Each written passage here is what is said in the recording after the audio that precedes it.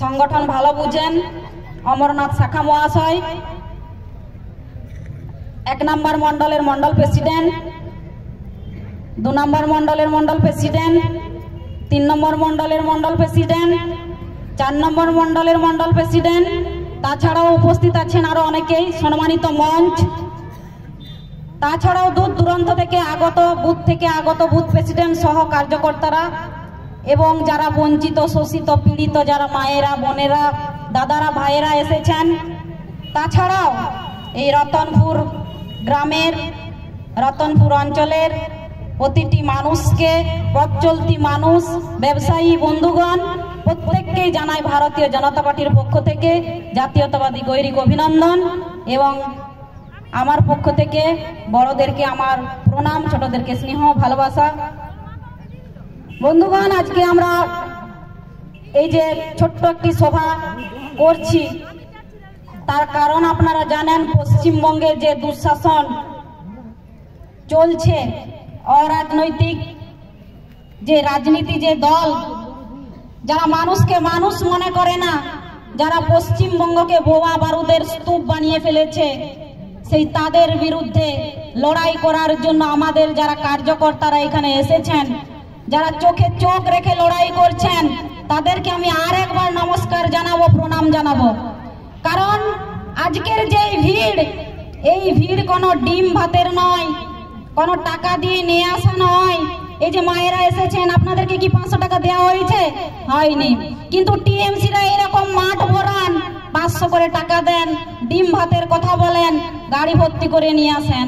আর আমরা যে সমাবেশ করি বা জনসভা করি বা ছোট ছোট যে কার্যক্রমগুলো করি, সেগুলোতে আমরা পারমিশন পাই না। তা সত্ত্বেও আপনারা এখানে যারা উপস্থিত হয়েছেন, হয়তো ঘরে গিয়ে আপনাদেরকে অনেক কথা শুনতে হবে। কেন গেছিলি বিজেপির প্রোগ্রামে? কেন গেছিলি জনসভাতে? এরকম অনেক রকম কথা আমাদেরকে সহ্য করতে হয়। আমাদের দাদা ভাইদেরকে মিথ্যে কি কেস, গাঁজা কেস, রেপ কেস।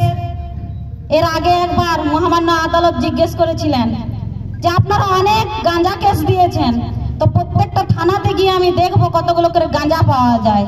তো তারপর থেকে গাঁজা কেসটা একটু কম হয়েছে।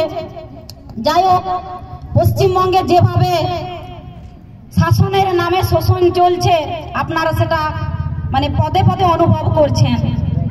মাটির থেকে শুরু করে বালি, কয়লা, পাথর, এমনকি আমাদের যে মায়েদেরকে সুরক্ষিত রাখার জন্য যে বাথরুমটা দেয়া হয়েছে, সেটাও পর্যন্ত টিএমসির লোকেরা খেয়ে নিচ্ছে। এই পশ্চিমবঙ্গের মাননীয় মুখ্যমন্ত্রী, উনি হচ্ছেন প্রত্যেকটা দপ্তরের উনি মন্ত্রী।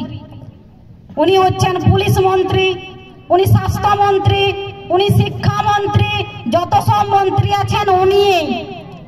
একটা কথা আমাদের শুভেন্দুদা বলেন, আপনারা সবাই শুনেছেন, যে একটাই পোস্ট আর বাকি সব কি? Lamp post. তা একটাই পোস্ট আছে এই পশ্চিমবঙ্গে।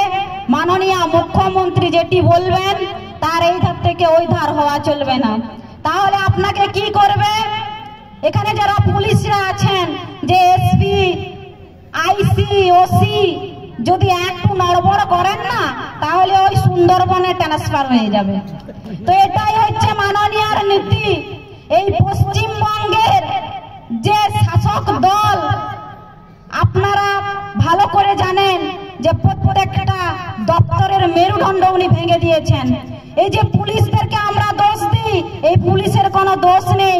কারণ ওনারা হচ্ছেন একটা, কি বলব, বলতে খারাপ লাগে ওনারা এখন একটা মেরুদণ্ডহীন প্রাণীতে পরিণত হয়ে গেছে। কারণ জানেন, ওনাদেরকে যদি বলে ও তো উঠবে, যদি বলে বস, তো বসবে। তো এটাই হচ্ছে পশ্চিমবঙ্গের মাননীয় মুখ্যমন্ত্রীর রাজনীতি। উনি দু সালে বদলা নয়, বদল হবে বলে ক্ষমতায় এসেছিলেন। কিন্তু দু হাজার এগারো সালের পর আমরা কি দেখতে পাচ্ছি? যে সিপিএম সরকার যেভাবে এই পশ্চিমবঙ্গের উপর অত্যাচার করেছে, যেভাবে প্রত্যেকটা মানুষের কর্মসংস্থান থেকে শুরু করে আমাদের অনেক কার্যকর্তা সিপিএম এর আমলে এবং অনেক যারা এই হিন্দুত্বকে রক্ষা করার জন্য যারা এগিয়ে গিয়েছিলেন, তাদেরকে পুড়িয়ে মেরেছেন, সেই একই রকম ভাবে এই পশ্চিমবঙ্গে এই টিএমসি সরকার। আপনারা ভুলে যাবেন না সেই বকবিয়ের ঘটনা, যেখানে তালা বন্ধ করে মুসলিম মা বোনেদেরকে পুড়িয়ে মেরে দিয়েছিল এই পশ্চিমবঙ্গের যে দালালরা আছে, টিএমসির নেতারা যারা আছে। দিদি, তাদেরকে বীর বলে সম্মান করেন। আমরা কি জানি, পশ্চিমবঙ্গের বীর আমরা কাদেরকে জানি? নেতাজি সুভাষচন্দ্র বোস। আমরা কাদেরকে বীর বলি? নেতাজি সুভাষচন্দ্র বোসকে, তাই তো? হ্যাঁ?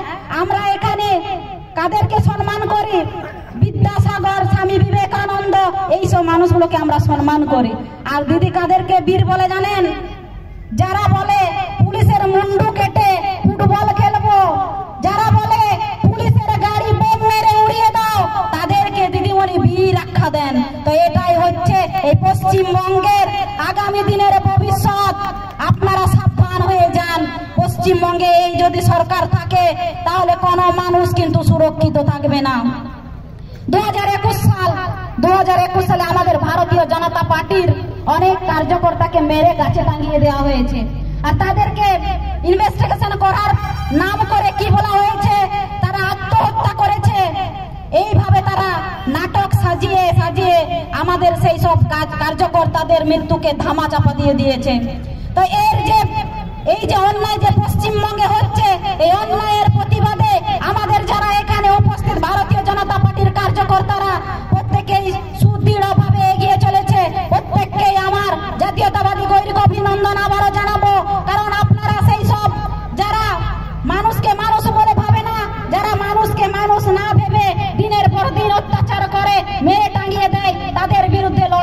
আপনারা করছেন।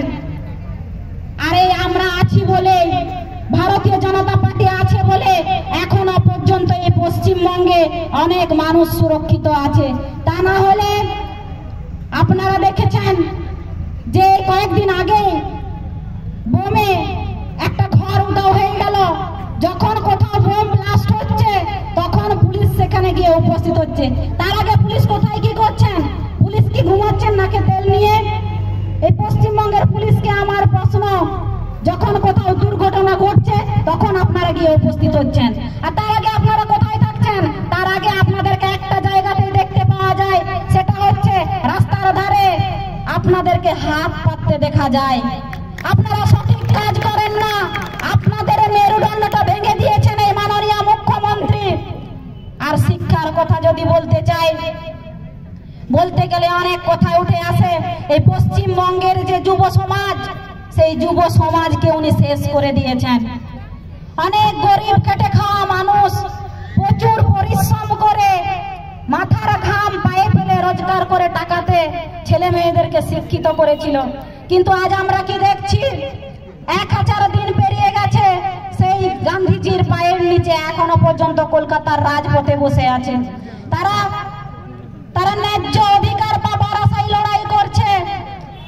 এখানে পশ্চিমবঙ্গের ডিএর কথা বলতে গেলে দিদি বলেন যে ঘেউ ঘেউ করো না। এই হচ্ছে পশ্চিমবঙ্গের মাননীয় মুখ্যমন্ত্রীর কথা। উনি বড় বড় কথা বলেন, মা মাটি মানুষের কথা বলেন, মাটি আজকে বিক্রি করে দিচ্ছেন। সততার প্রতীকী বলেন, আমাদের মায়েদেরকে পাঁচশো টাকা লক্ষ্মীর ভান্ডার দিচ্ছেন। দু হাজার একুশ সালের পর যখন উনি এক জায়গায় প্রচারে গিয়েছিলেন সেখানে গিয়ে গেছিলেন বলেছিলেন, পাঁচ হাজার টাকা করে দেবো যদি ভোটে উনি জিতেন। তো এই পশ্চিমবঙ্গের মানুষ কি ভিকারি কি মা, আমরা কি ভিকারি এই পশ্চিমবঙ্গের তৃতীয়বারের জন্য উনি মুখ্যমন্ত্রী হয়েছেন, আর এই পশ্চিমবঙ্গের মানুষকে পাঁচশো টাকা, আর বাইরের স্টেটে গিয়ে পরে উনি বলছেন পাঁচ হাজার টাকা। আমরা কি ভিক্ষা চাই? চাই না। আমরা চাই কর্মসংস্থান। আপনারা দেখলেন কিছুদিন আগে করমন্ডল এক্সপ্রেসে এই পশ্চিমবঙ্গ থেকে কত মানুষ ভিন দেশে কাজ করতে যায়। আর সেই অ্যাক্সিডেন্ট কীভাবে হয়েছিল আপনারা দেখেছিলেন? সেখানে এই পশ্চিমবঙ্গের অনেক ছেলে তাদের প্রাণ গেছে। তারা মারা গেছে। কিসের জন্য গেল তাদের এই প্রাণ? এই পশ্চিমবঙ্গে কর্মসংস্থান নেই।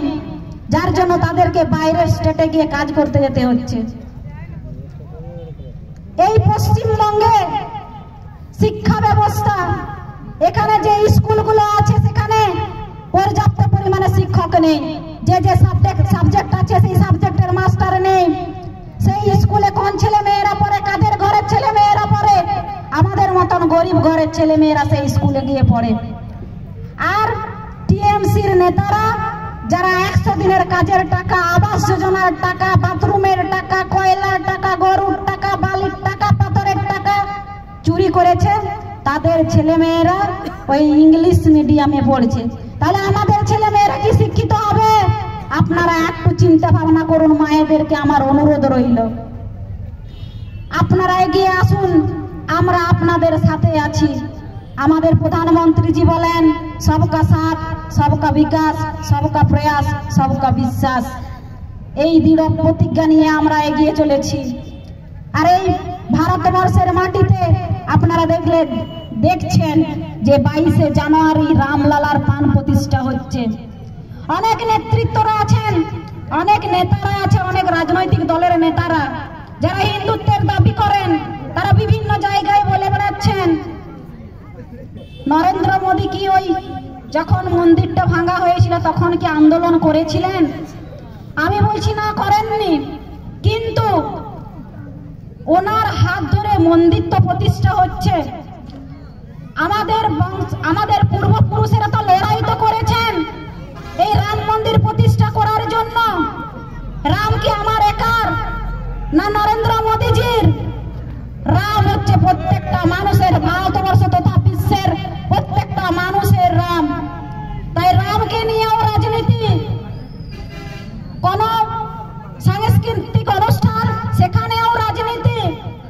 কয়েকদিন আগে আমাদের কলকাতায় গীতা পাঠ হয়েছে, আপনারা গেছিলেন কিনা জানি না। অনেকেই গেছিলেন। তো সেখানে আমাদের গীতা পাঠ হচ্ছে। দিদিমণি বলছেন, ওটা বিজেপির প্রোগ্রাম তো উনি বিজেপির ভয়ে এখন ভীত, সন্ত্রস্ত। ওনাকে আমি অনুরোধ করব, এত ভয় পাবেন না। হিন্দুত্বের পথে এগিয়ে চলুন। মানুষকে